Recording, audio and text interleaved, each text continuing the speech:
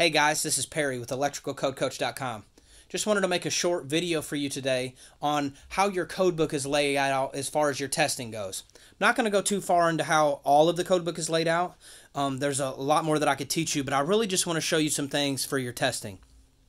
So as you notice, we've got our codebook right here. I have one underneath it that's tabbed. We're going to talk about it in a few minutes.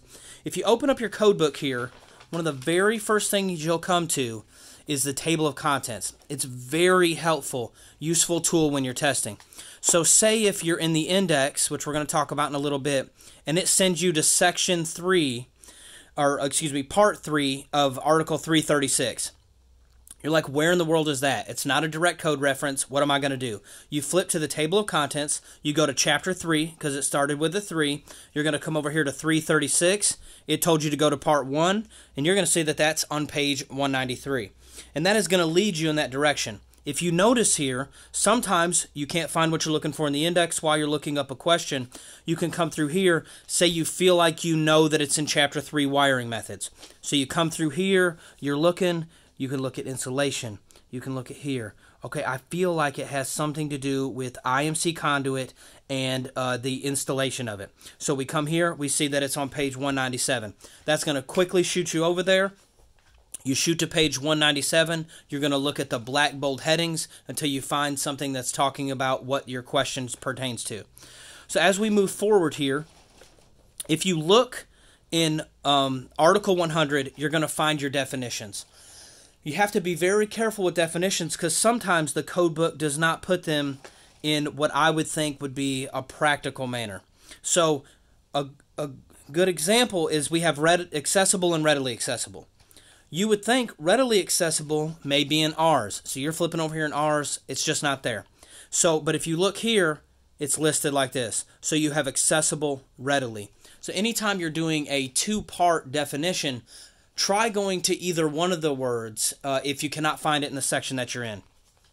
You want to be very familiar with your definitions and what they mean. It can help you in the field and in your testing.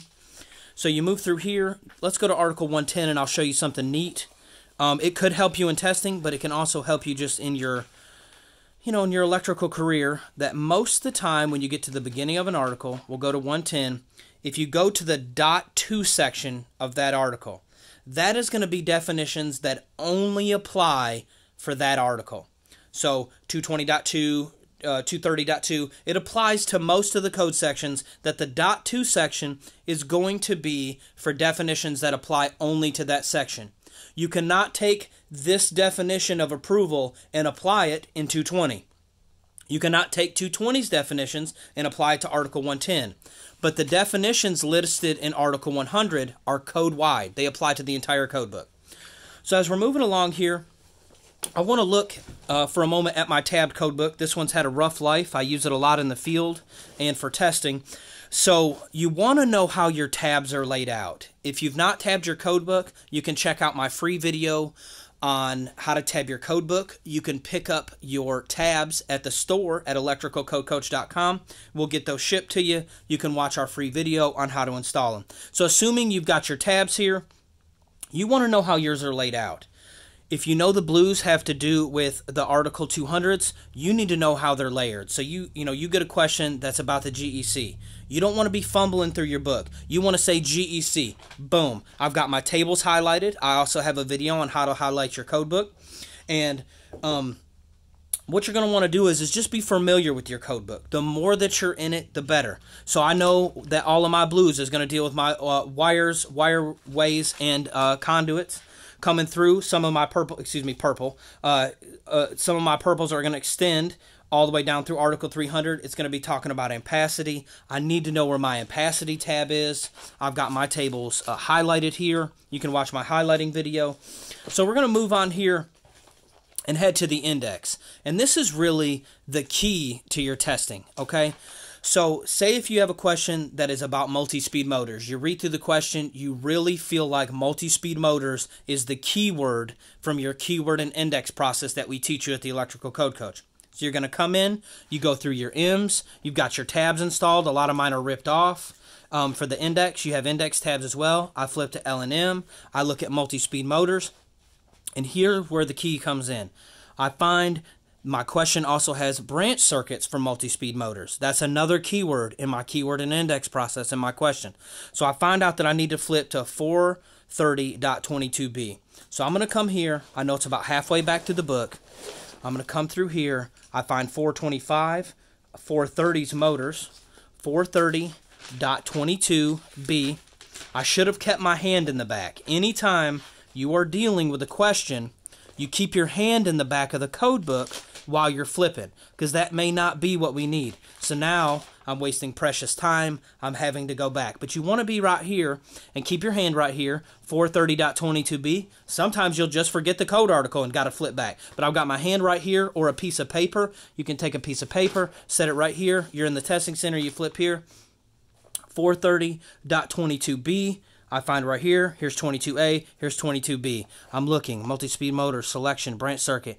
Ooh, my question was asking what is the percentage of the rating um, and it was 125%. I slowly read through it to make sure it's correct. Boom, I select my answer on my test. I'm ready for my next question. Click, next question. It's asking me about uh, calculations. I don't have to go to the index. I've got my calculations tab memorized. I know that it's Article 220. Boom, I'm going to flip to it and I'm going to start going through Article 220. I want to kind of use that as an example. So this code book is really beat up. You'll have to excuse me. It takes me a little bit longer. I would not take this in testing. That's why I encourage you guys to have uh, two code books, one for the field and one for testing. So we're moving here. We're going to say it's to do with tap conductors, Article 240. So I know my taps. I flip here. Now I have to look at my black bold headings. I know it's about taps. My question's asking about 25 foot long or over 25 foot long. So not over 10 foot. Not over, oh, excuse me, not over 25. Mine's over 25. Supplying primaries, nothing to do with me that are over, not over 25. Right here, taps over 25 foot long. So I come to my keyword, got me to the taps, you know, used my index if I needed it. I knew where this tab was, saved me a minute on my time. I come through here, I start looking at black bold headings. If I can't find what I read, I'll start looking at the subsections. I'm looking for over 25 foot long, so the only thing my eyes need to see is when it's over 25 foot long. Then I have to begin to read. It was asking, for instance, um, you know, you could, I, I can't make up a question on the, you know, how many feet can it be high on the wall? Okay, so we got 35 foot on this question. So and I was just making that up for for instance, but you want to scroll through and scan what you're looking for and know how to sift out what you don't need. Really, the index is one of your greatest places. You want to take your time. Uh, all of mine have been ripped off from just practice testing, or most of them have been ripped off. I showed you in my highlighting video, you could go through and highlight every single black bold heading Okay, so if I'm looking for something about aircraft hangars, it's in alphabetical order. I'm coming through here, and everything highlighted draws my eye immediately. And then in my question, it was talking about equipment about aircraft hangars. So I come down, equipment about aircraft hangars. I've got five or six sections here. So I'm going to hold my hand in the back, and I'm going to fl uh, flip to 513.10. Then I'm going to flip to 513.12 or whatever it is. And I'm going to flip back and forth until I get the answer that I find.